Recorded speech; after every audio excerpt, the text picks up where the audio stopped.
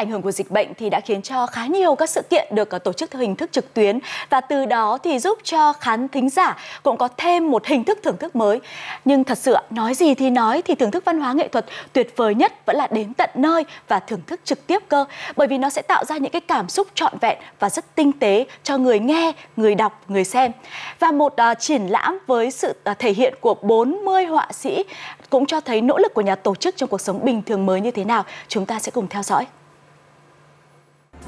Một triển lãm gồm các tác phẩm tranh, điêu khắc, đồ họa của các nghệ sĩ cũng là những giảng viên của Trường Đại học Kiến trúc Hà Nội đang được tổ chức tại nhà triển lãm 29 hàng bài.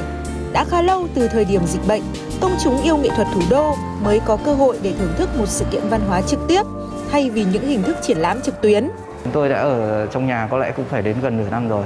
và rất là hạn chế ra ngoài bởi vì đây là cái việc chung của toàn xã hội rồi. Nếu mà chỉ có online không thì rõ ràng là sự tương tác giữa thầy giáo và học trò sẽ khó khăn hơn rất là nhiều. Tuy nhiên một khi à, offline và có những cái sự kiện này vẫn đảm bảo an toàn phòng dịch thì chúng tôi có dịp trao đổi được với nhau nhiều hơn và học trò hiểu hơn các thầy giáo của mình, các thầy đã làm gì trong cái quá trình mà vẫn phải ở nhà chống dịch. Ngành nghề nào cũng có những đặc thù rất là thú vị nhưng mà chúng tôi là những nhà giáo kiến trúc sư hoặc là họa sĩ thì được tổ chức một cái triển lãm như này chúng tôi rất là hạnh phúc. Bên cạnh những giờ giảng dạy online thì chúng tôi dành nhiều thời gian để nghiên cứu sáng tác, nói lên những cái vấn đề của xã hội cũng như là chính những câu chuyện bản thân mà trong thời gian giãn cách.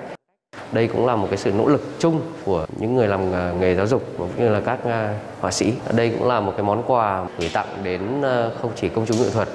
nói chung mà còn là sự chia sẻ với các đồng nghiệp là các ờ, thầy cô giáo, các cấp học chứ không chỉ là cấp đại học. Và chúng tôi cũng thông qua triển lãm này thì hy vọng là những cái tín hiệu ờ, tốt đẹp trong cuộc sống ờ, và cái dịch bệnh cũng sẽ sớm qua đi. Với hơn 90 tác phẩm hội họa, đồ họa, điêu khắc, triển lãm sẽ diễn ra đến ngày 17 tháng 11 tại nhà triển lãm 29 hàng bài và từ 20 đến 30 tháng 11 tại nhà triển lãm Trường Đại học Kiến trúc Hà Nội.